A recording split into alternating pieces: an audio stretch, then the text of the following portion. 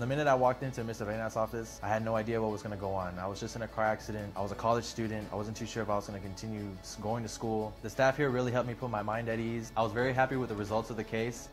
Call me today. I'm Ezequiel Reyna.